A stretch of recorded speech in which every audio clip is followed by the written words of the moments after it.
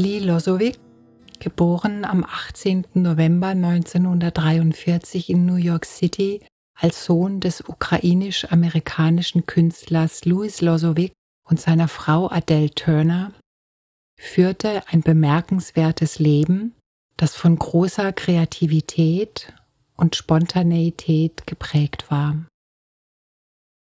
Sein Studium schloss er 1965 an einem College in Illinois mit dem Bachelor of Arts ab. In den folgenden Jahren arbeitete er als Münz- und Briefmarkenhändler, bevor er 1970 Mitglied der Silver Mind Control wurde, einer universellen Methode zur Steigerung der Kreativität und Leistungsfähigkeit des menschlichen Geistes und sein Interesse am Human Potential Movement entdeckte. Der Wendepunkt in Lees Leben ereignete sich im Jahr 1975, als er ein spontanes Erwachenserlebnis hatte. Dieses Ereignis führte dazu, dass er ein Zentrum in Mount Tabor, New Jersey, gründete, in dem er Silver Mind Control unterrichtete, Motivationsseminare abhielt und Gitarrenunterricht für die jüngeren Teilnehmer gab. Es war eine Zeit der Veränderung und Transformation.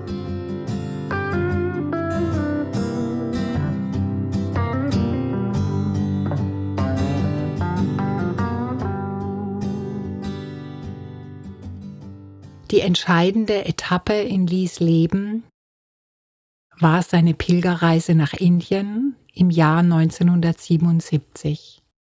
Dort hatte er eine außergewöhnliche Begegnung mit Yogi Ramsurat Kumar, einem rätselhaften Bettlerheiligen. Diese Begegnung berührte Lee zutiefst und führte ihn immer wieder zurück nach Indien, wo er Jahr für Jahr Schüler mitnahm, um den heiligen Bettler zu besuchen. Lee erkannte in Yogi Ramsurat Kumar seinen spirituellen Vater und ihre Verbindung überdauerte Raum und Zeit.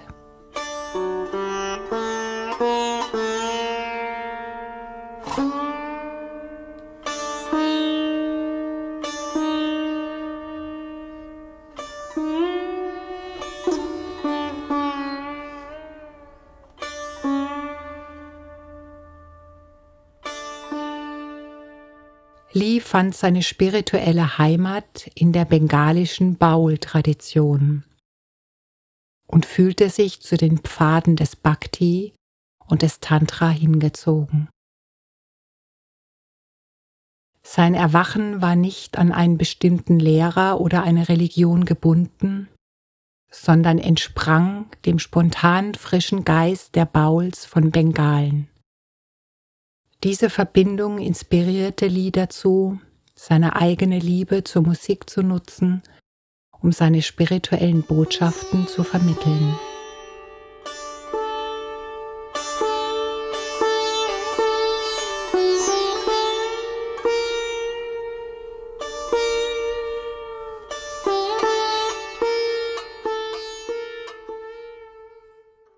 Lee war ein Mann der Kreativität und der Kunst in all ihren Formen.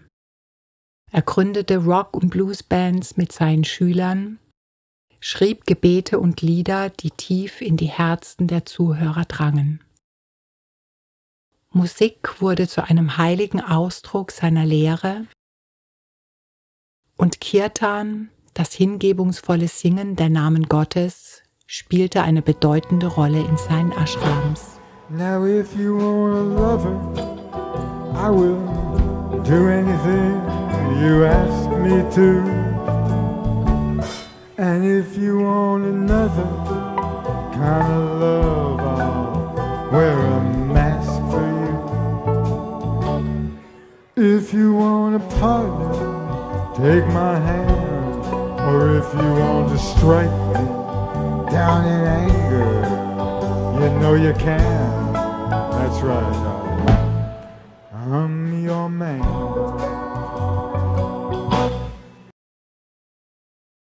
Mit seiner kompromisslosen Kritik an konventionellen religiösen Dogmen ist Lee ein spiritueller Freund und Lehrer für alle Suchenden, die es wirklich wissen wollen.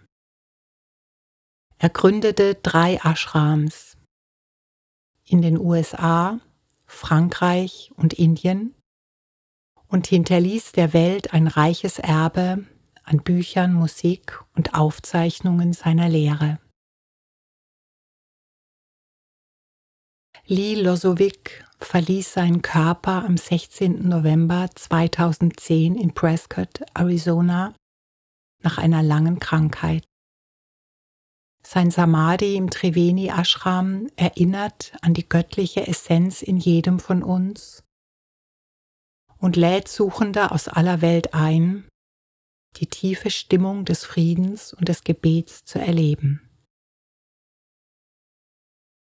Die Musik, Gedichte und Schriften Lies sind durchdrungen von tiefen Einsichten und Anweisungen, die es zu leben gilt, um sie wahrhaft zu verstehen. Was durch ihn in die Welt gekommen ist, ist nicht an eine bestimmte Zeit gebunden, sondern kann weiterleben in den Herzen der Menschen, die sich seiner Lehre ernsthaft mit offenem Herzen und Geist zuwenden. People, people everywhere, like bees around this hive, scratching and fighting just to keep their hope alive. Times they are still changing, things still falling out, not yet fallen into place and not yet turned about.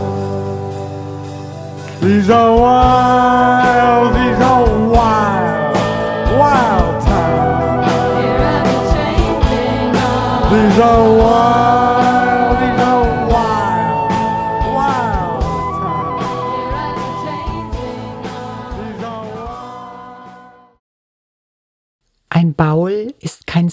Zen-Meister, der dich anschaut und sagt, wach auf, erkenne die Wirklichkeit.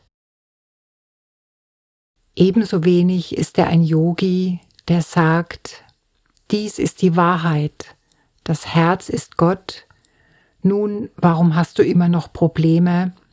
Das Herz ist Gott, lebe einfach danach, na los. Anfangs habe ich das ebenfalls probiert, aber ich habe herausgefunden, dass die Leute offenbar der Meinung sind, dass sie alles in ihrem Leben bereits verwirklicht haben. Männer kamen zu mir und sagten, ich führe das Leben eines Erleuchteten, aber meine Frau, sie versteht es nicht. Sie schafft es einfach nicht, ihr Bewusstsein zu erweitern, und mit so einem Menschen kann ich auf Dauer nicht leben. Nun, das bestätigte mich in meiner Überzeugung, dass sie weit davon entfernt waren, ihre hehren Ideale im Leben zu verwirklichen. Das Thema Erleuchtung ist außerordentlich brisant. Für mich wurde es allmählich so unübersichtlich, dass es unmöglich wurde zu sagen, ich sei erleuchtet. Ich glaube, ich weiß nicht einmal genau, was Erleuchtung ist. Ich weiß, was Resonanz und was Dissonanz ist. Ich weiß, was ausgerichtet und was fehlgerichtet ist. So kann ich mit Menschen arbeiten und ihnen helfen, sich zu verfeinern und auf der richtigen Spur zu bleiben. Aber Erleuchtung, die sollten wir lieber Gott überlassen. Vielleicht weiß Gott, was das ist.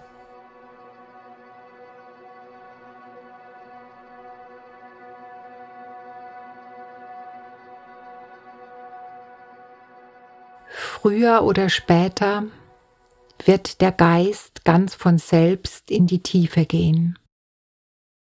Statt der groben physischen Ablenkungen wird er versuchen, wirkungsvolle und verführerische Mittel einzusetzen, um uns zu faszinieren, abzulenken und zu kontrollieren. Wenn wir ihm jedoch nicht geben, was er verlangt, wenn wir uns nicht von der Faszination, der Ablenkung und den Bestrebungen, uns zu kontrollieren, einwickeln lassen und stattdessen die Ablenkungen als Erinnerungshilfen nutzen, indem wir uns fragen, was kann ich damit anfangen? Wird der Geist nach einer Weile zu seiner mächtigsten Quelle gehen, an seinen Entstehungspunkt, den eigentlichen Ursprung seiner Herkunft.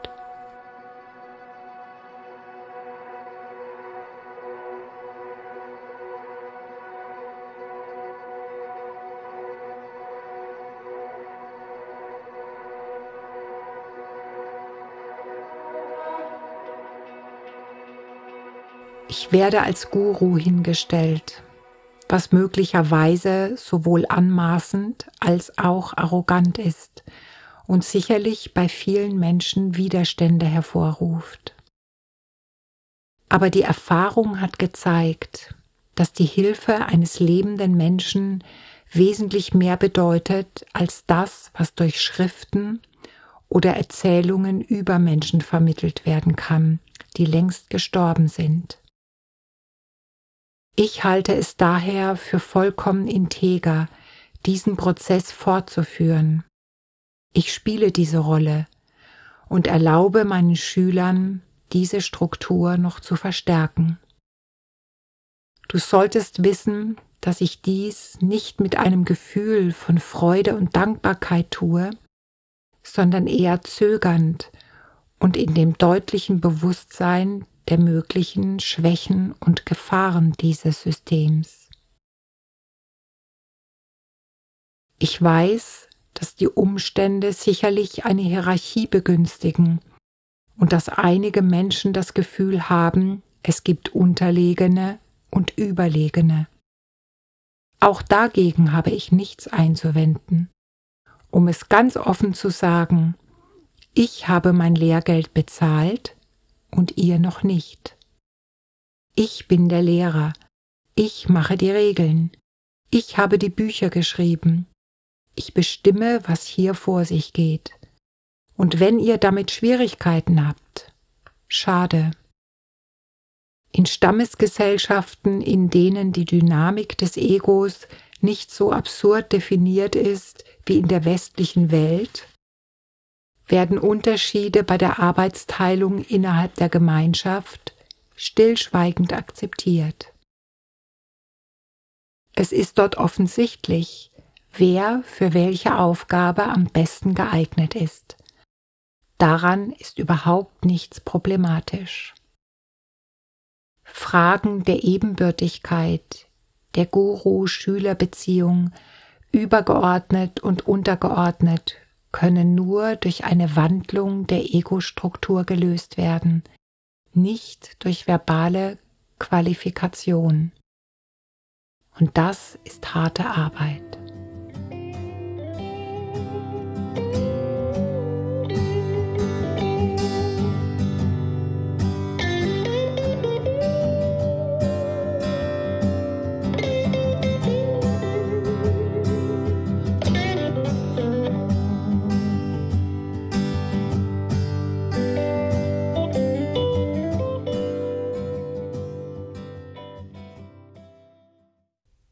Wenn du dich für hochwertige spirituelle Literatur interessierst, dann findest du auf www.advaitamedia.com exklusive Perlen der Weisheitsliteratur, die dich auf deinem inneren Weg begleiten und ihn vertiefen können.